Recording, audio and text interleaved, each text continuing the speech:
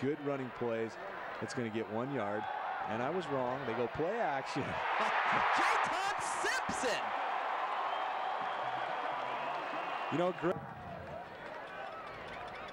Well, and, and as I said, I mean, the ball's put up there. That's the good thing. You just get it up there for him. Well covered, but just a little bit short. Ja'Ton makes a, a good adjust. Good running plays.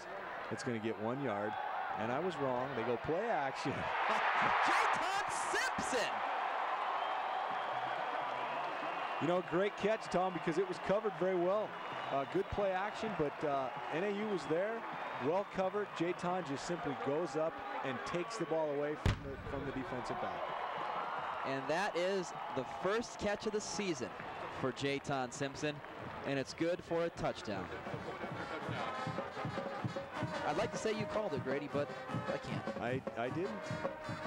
It was one of my options, obviously, in the playbook, but I, I thought they were going to run it straight ahead. But good execution. What a great drive. I mean, give credit to everybody on the offensive uh, uh, unit right there for Montana. 90 yard drive under.